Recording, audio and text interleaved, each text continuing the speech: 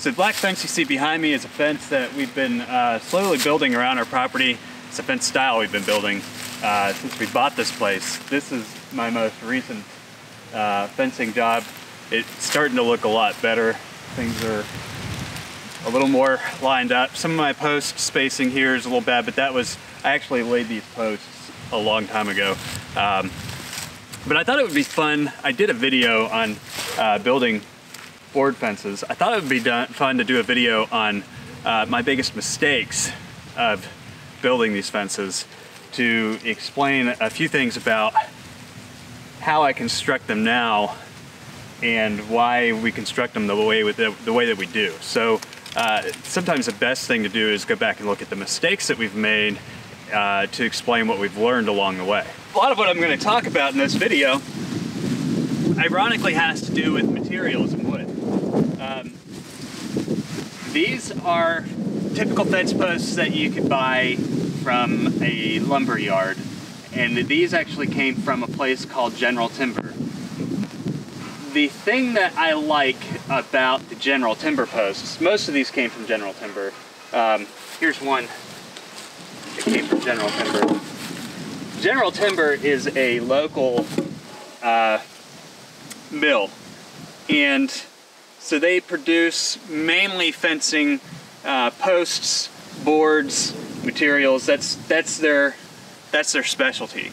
So the first thing that I've noticed about their posts versus some of the other posts that we've used is the treatment. The treatment is substantially better than the posts that we were buying at Lowe's.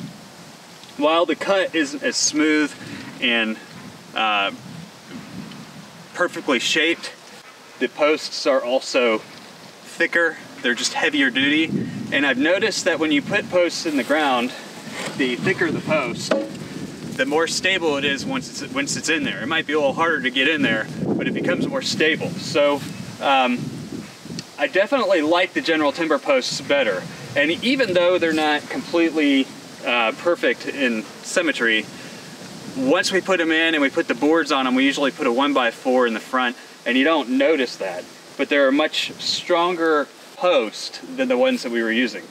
And the other thing so the ones from Lowe's, they're, they're real pretty, they're very symmetrical, but I've noticed that when we get them in the ground and they've been in the ground for a while, a lot of them have either cracked or warped. I think a lot of that has to do with their sizing. It also has a lot to do with their treatment and how much they were dried before they went into the ground. These posts go through a longer drying process than most of your big box store posts would. So if you're doing uh, fencing I would buy your posts from a specialty uh, timber company that, that focuses on building fence posts because they're going to be treating them and creating them um, better than what you're going to buy at Lowe's. I think the posts that you could get at, say, a place like Tractor Supply are probably similar to these. In fact, some of these could be Tractor Supply posts. I bought these at auction. I'm not sure where all of them came from. I just know certain ones because they still have the general timber tag on them.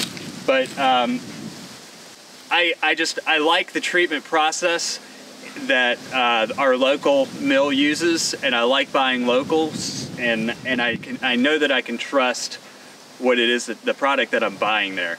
So if I've done anything wrong with posts, I would say it starts with the material that I've used in the past.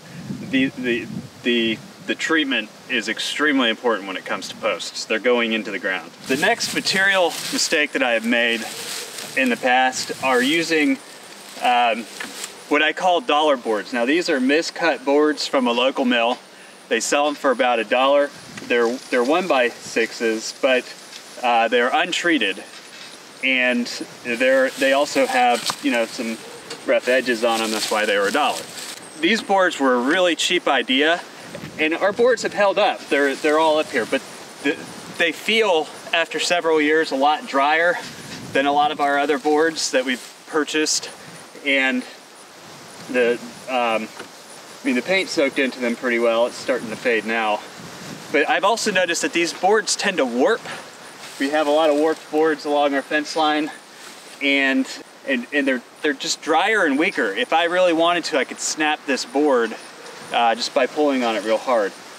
I'm not gonna do that, but it's the quality of board in the dollar boards was not the, it, the savings weren't that great considering that you could get a, a nicely treated uh, 14 foot board for about seven dollars. And for the amount of times that I would have to replace these dollar boards to make up for that um, I just I don't think it's worth it. There's some I mean for some people it might be worth it. And actually at the time that we did this we needed a fence up pretty quick so it was worth it. But within a year a lot of these boards started warping.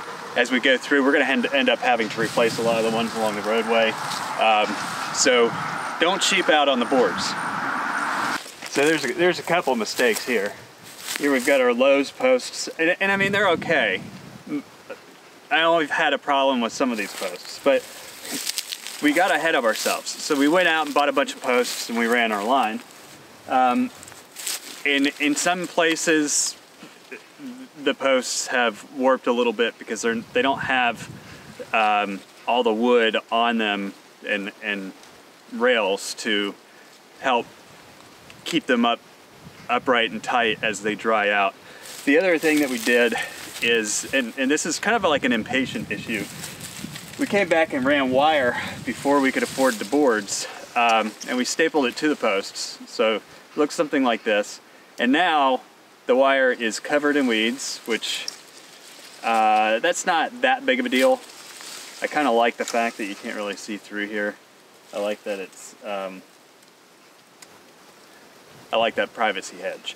But it's pulling off the wire because there's no boards to hold on the wire. So it's kind of, it's kind of a mess. Um, another mistake was that we put the wire on before we painted the, the posts. And coming back and painting these posts with the wire on it is a royal pain in the butt. So in order to fix this, I've got a lot of cleanup to do. And then I'm gonna have to restaple all this wire and then um, and then put on the boards and paint the boards. I mean, it, it, there's a process that I'm gonna have to go through to get this back the way that we want it. Um, it's unfortunate, but there's nothing we can do about it now. So this is another fence where we've, we've done some things correctly and some things incorrectly.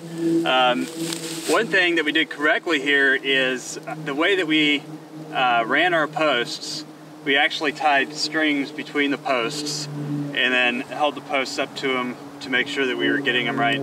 And I, I thought we did that on some of our other areas, but for whatever reason, this particular fence came out straighter than all of our other fences. So we definitely improved in the way that we were laying our posts. We used General Timber fence boards. And these boards are were put in in 2014, so these boards are four years old. And they're still solid boards. But I made another mistake. We did this in a rush. We put this fence up, we painted the posts, we did not paint the boards before we put the boards up. So getting behind the boards to paint where they attach the fence is going to be a pain in the butt, but it, it's doable. Um, the other thing I didn't do is I didn't come back across the front and put in my 1x4s. And you would think that just nailing the boards to the posts is enough, but that 1x4 across the front of these is a very important structural component of building a fence that um, I'm shooting myself for on this fence now because what happens is these boards will, as they dry, and they will warp. Um, they, they didn't warp as bad as our front boards, but all boards uh, tend to want to warp somewhat. But if you look here, this board has kind of popped out and up. If that 1x4 were down across here, it wouldn't have been able to do that. I've got a couple spots further down where a board is twisted. The one by four is kind of coming in and, and, going down in the center of the boards as well as the, the ends of the boards. You can see where the two ends in this solid one through. Um, those one by fours would keep the board from being able to really twist a whole lot. It, it, there's definitely a reason for, for taking multiple steps and multiple layers of putting your wood onto your fence to prevent as much bowing and flexing and twisting and turning as possible on the boards while also keeping the fence intact and not letting things come unnailed and come undone. So this fence needs some work to get cleaned back up again. It's not horrible. It's something that I can do, but it's not, it's not ideal that we didn't paint these boards before putting them up. It's not ideal that I'm gonna have to go back and fix some of the boards that have been able to pull out and pop out of place before I go back and put my 1x4s on it. Um, the other thing that I didn't do back here, and it's not as big of a problem back here, but it's been a problem in other places, is um, not angling the back of the fence posts. That's, that's pretty critical. It allows the water to run off, that you paint the top of it so that um, it, when water sits on the top of these posts, that's where you can start getting the post to dry out a little more, a little more warping, a little more bending. Um, so that is another problem that I've noticed with this fence. So a lot of the problems that I've run into with fencing, they, they all seem to be related to a couple things. Number one, cheap materials. Cheap materials don't work. When we buy fencing now, we wait until we have the money to buy the good materials and we only deal with the good materials because it's not worth it to have to come back and fix things later. The, general timber wood that we've been using is 10 times more solid than the dollar boards we were using. Um, and as it dries out and gets older, it, it almost feels harder. And I think that's just the treatment process. The other thing is just your project planning. So the last stretch of fence I did, we, we, we had the posts in and those weren't ideal. But when we went to do the boards and the wire, um, we did the wire and we came back, we put we put the boards up, we painted the boards before we put them on, we did the one by fours, we built that entire section of fence all at once to make it just stay together, solid, it's a completed product.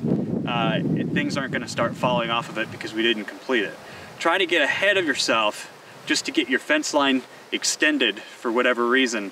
Um, it could benefit you if, if it's just a short-term thing, but if you end up going for six months without finishing it, you're gonna start having problems. You, you can't get ahead of yourself on a fencing project. It's better to build a completed fence in sections than to try and run all your posts, go back, run all your wire, go back, run all your boards, go back, run all your one by fours, go back, cut the tops off instead of doing that at different times, it's better to be able to do all of that at once and do less fencing than to try and stretch yourself thin, not be able to get the materials, not complete the job, and then try and go back to it six months to a year later. That just doesn't work. If you're building fences, you know as much as I do that the, these are expensive projects. So when you have to go back and, and fix something that you did a couple years ago, um, when it should have lasted much longer than that. That's an expense that you can't afford to make down the road, and you have to keep that in mind now as you start building your fence. If you're concerned about not having the money to do the whole thing all the way down, um, like we had talked about running just two boards all the way down, but the boards would be warped and out of place by the time we finish the rest of the fence. If you're concerned about not having the materials to, to do a long enough section fence, I, you just have to develop some patience for this. If you pace yourself and you start now, you're eventually going to get to the finish line. Very few people, other than large operations, can afford to just build fencing on farms. It's expensive. It's a lot of wood. So that's those are some of the mistakes that we have made in um, putting up fence that I think are uh, shareable and and they all come down to materials, construction, time, and project management. If you handle your project correctly, you're getting the right materials, you shouldn't run into some of these simple mistakes that we've made. And, and when we started this, this, this is one of our first fences, we were kind of new to the game. Um, and we were learning as we went. Now we know, okay, if we're gonna do a section of fence, we gotta do the whole thing, we gotta knock it out right, or it's not it's not going to hold up for more than a few months.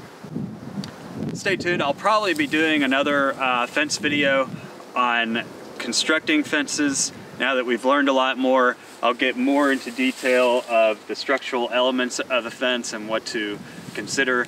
Um, if you haven't already, we, we do have a, a, fence building video that's up. A lot of those principles are the same.